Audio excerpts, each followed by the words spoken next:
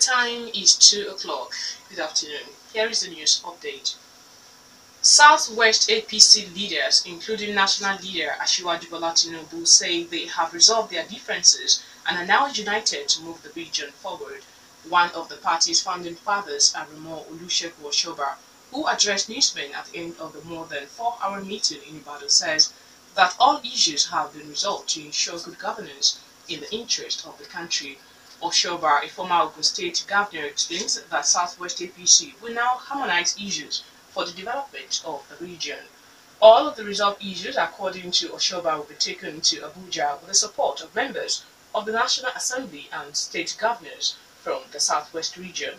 The meeting was attended by all APC state governors, former governors, National Assembly leaders, members of the Federal Executive Council from the region, as well as the former interim national chairman, Chief Bisi Akande, and the Information and Culture Minister, Alhaji Mohammed. The Sultan of Sokoto, Alhaji Sa'ad Abubakar, has blamed the continued violence in the southern Kaduna on forces bent on writing the religious history of Kaduna State. The Sultan, in a statement by the Administrative Secretary of the Nigerian Supreme Council on Islamic Affairs, Ustaz Christian Okonkwo says the forces behind the endless killings, particularly in southern Kaduna, are faceless. The Sultan, who is the president of NSCIA, cautioned against acts and utterances capable of escalating the violence in southern Kaduna by elements within and outside the area.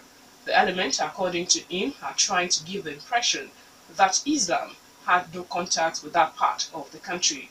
Such approach to the history of Kaduna State, according to the Sultan, are based on amnesia and was partly responsible for the recurring violence in southern Kaduna.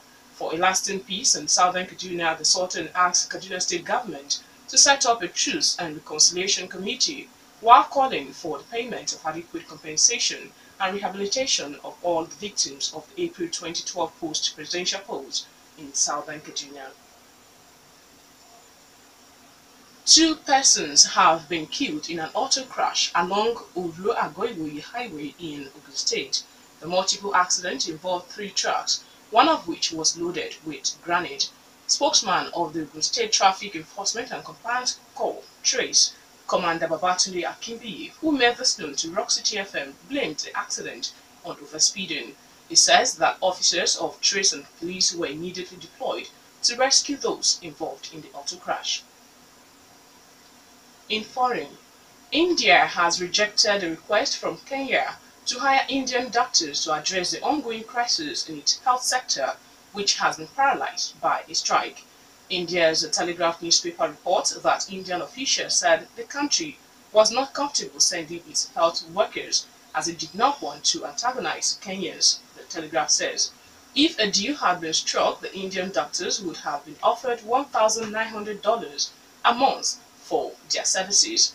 Kenyan doctors working in public hospitals have been striking for more than a, four, a, month, a month, insisting that the government honor a 2013 deal to improve their pay and working conditions. Currently, an entry-level doctor earns $380 a month. Last week, Kenyan doctors rejected a pay deal offered by the government that would have raised the entry-level pay to $1,895 a month saying it did not match the 2013 deal.